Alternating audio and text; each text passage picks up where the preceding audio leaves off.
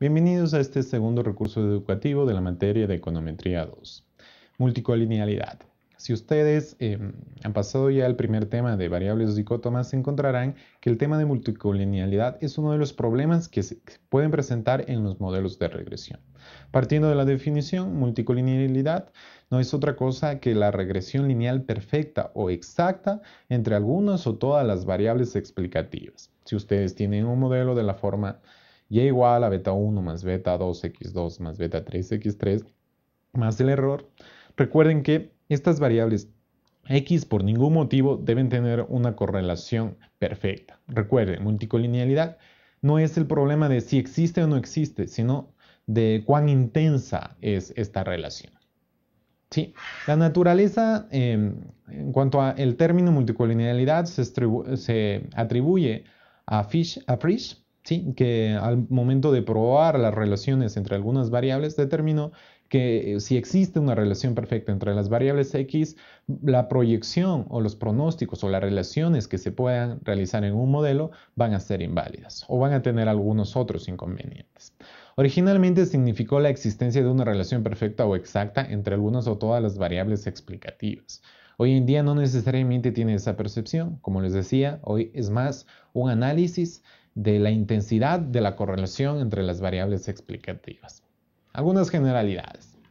La multicolonialidad es un hecho real que muchas de las variables que se utilizan, sobre todo en el ámbito de la economía, eh, van a tener este tipo de correlaciones, por lo cual hay que saber cómo determinarla, cómo saber que existe y qué se puede hacer para remediarla. La información no reunida mediante experimentos formales algunas veces no ofrece mucha claridad sobre los parámetros de interés y muchas veces puede ocasionar que exista multicolinealidad. ¿Sí? Para entenderlo mejor, ¿qué es esta multicolinealidad? Si ustedes observan en, en estos diagramas y tenemos la variable y y las variables explicativas x2 y x3, vemos que x2 tiene algo de relación con esa variable y esta variable x3 tiene algo de relación con esta variable y. ¿Sí? Hay una asociación, hay algún grado de explicación. Pero si vemos x2 y x3 no están relacionadas.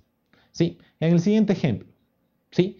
podemos observar que x2 tiene algo más de relación, x3 tiene algo más de relación, pero entre x2 y x3 ya existe un grado de explicación o de asociación. ¿sí? Lo cual no debería suceder. Para el siguiente ejemplo vemos que esto se incrementa y para el último ejemplo vemos eh, que ya esta correlación es muy grande, por lo cual eh, no, nos permitiría trabajar de, una manera adecuada. Las fuentes de multicolinealidad. Las fuentes de multicolinealidad eh, son varias. La número uno, los métodos de recolección de información pueden generar este tipo de inconvenientes. ¿sí? ¿Por qué? Obtención de una muestra en un intervalo limitado de valores puede ocasionar que una variable x se relacione con una variable y. 2. Las restricciones en el modelo o en la población objeto de muestreo puede ser otro de los inconvenientes para que el momento de obtener la información nos genere problemas de multicolonialidad. Especificación del modelo. Si el modelo no está correctamente especificado, seguramente tendremos inconvenientes con multicolonialidad. Los modelos sobredeterminados, es decir, cuando el modelo tiene más variables explicativas que el número de observaciones, nos va eh, a ocasionar problemas similares. Las variables del modelo eh, comparten una tendencia en común. Sí, es que eh, estos aumentan o disminuyen a lo largo del tiempo. Si tienen ese mismo comportamiento puede ser señal de que hay algún inconveniente de multicolinealidad. En cuanto a los supuestos y que hay que tener en consideración es el supuesto número 10, donde para un modelo de regresión eh, suponemos que no hay multicolinealidad perfecta, es decir, que no hay relación perfecta lineal entre las variables explicativas. El supuesto número 7 y el número 8 que son complementarios a este supuesto número 10 y que dicen, para el 7, el número de observaciones n debe ser mayor que el número de parámetros por estimar. Alternativamente, el número de observaciones n debe ser mayor que el número de variables explicativas en el modelo. Y el supuesto 8. Variabilidad en los valores de x. No todos los valores de x en una muestra dada deben ser iguales. Porque al igual que lo que les comentaba en las variables dicótomas, si tenemos una variable donde 30 de los 30 datos son unos, no hay variabilidad. Por eso es importante saber que si hablamos de multicolinealidad, eh, debemos hacer referencia a estos supuestos. Consecuencias teóricas de la multicolinealidad.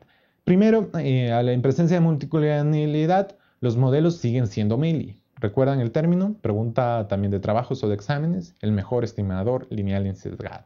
Por favor, depende ya de ustedes hacer la revisión en el libro y saber cuándo es un mejor estimador, cuándo es lineal y cuándo es insesgado. Por favor, eh, hacer referencia a esto que seguramente habrán algunas preguntas tanto en los trabajos o como en los exámenes. Micronumerosidad, es decir, relación con el tamaño de la muestra. En las investigaciones falta atención al tamaño de la muestra. Siempre, eh, a veces una muestra no adecuada o, si incrementamos la muestra, podría haber alguna variación eh, en cuanto a, los problemas de multicolinealidad. Estimar cuando existe multicolinealidad perfecta no permite eh, las influencias separadas de las X de la muestra dada y por ende obtener una solución única para los coeficientes de regresión individual. Sí, el defecto que presenta la multicolinealidad es obtener coeficientes eh, estimadores con errores estándar demasiado grandes. Entonces, si son errores eh, demasiado grandes, la realidad va a ser diferente y sobre todo si vamos a hacer predicciones o pronósticos, no van a ser acertadas. La multicolinealidad es un fenómeno muestral, en el sentido en que aun si las variables x no están linealmente relacionadas en la población, pues puede que lo estén en la muestra. ¿sí? Por eso había que hacer énfasis en la manera de obtener la muestra y la importancia que se le debe dar a la muestra. Un ejemplo. Consumo es igual a beta 1 más beta 2 ingreso más beta 3 riqueza más e, U. Sí, la gente con mayor riqueza generalmente tiene a tener ingresos más altos. Por lo tal, hay un tipo de correlación entre esas variables. Sí puede suceder que cuando se tome la información, las variables estén altamente correlacionadas y es difícil determinar la influencia individual de estas variables. Por eso siempre hacer un análisis para evitar estos problemas. Sí, y para finalizar, es necesario saber eh, cómo lo detecto. Si ustedes en el software reviews o manualmente o en el Excel pueden establecer eh, una tablita de eh, correlaciones parciales, ¿sí?